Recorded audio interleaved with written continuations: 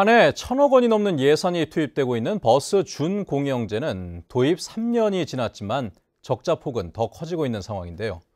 버스 준공영제의 부실한 관리 감독 문제가 도의회 행정사무감사에서 도마에 올랐습니다. 박성동 기자의 보도입니다. 지난 2017년 도입 이후 방만한 운영에 대한 지적이 끊이지 않는 버스 준공영제. 올해는 코로나19로 이용객이 지난해보다 20% 이상 줄고 노선도 감축돼 적자 폭은 작년보다 더 커질 전망이 나오고 있습니다. 이런 가운데 의원들은 일부 노선의 급행버스는 완행보다 요금이 2배 이상 비싼데도 소요 시간은 똑같다며 노선 운영에 문제를 제기했습니다.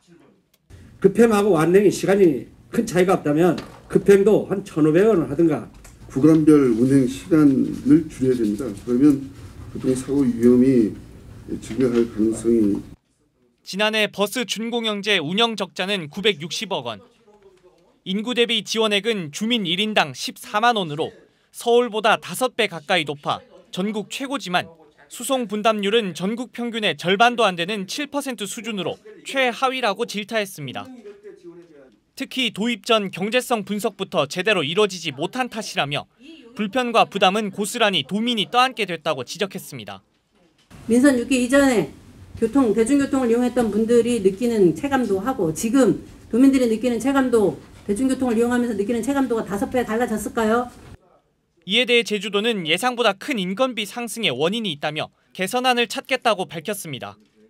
그러면 예산이 갑자기 불어난 겁니까? 그렇습니다. 예, 그렇습니다. 갑자기, 갑자기 불어난 겁니다. 갑자기.